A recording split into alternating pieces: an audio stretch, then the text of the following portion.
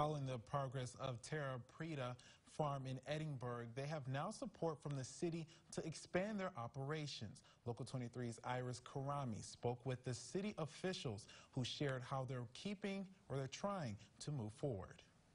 We all eat, we have breakfast or lunch or dinner, and all of this is thanks to a farmer.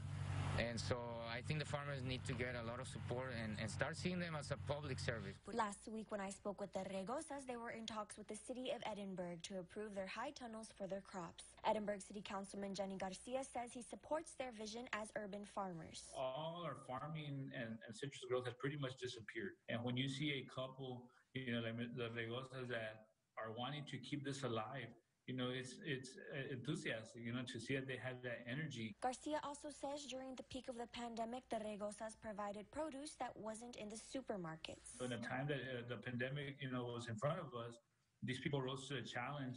However, a few years ago, Garcia says the land they are on was rezoned to residential, hindering the Regosas operations. Councilman says they are working to have the Regosas projects reconsidered in front of the city, a process he says will take until early November to decide. We're going to bring it before planning and zoning to see if it's something that we can remove as a whole as far as having to go through a variance for families like them as far as urban farming. Putting local first in Edinburg, I'm Iris Karami.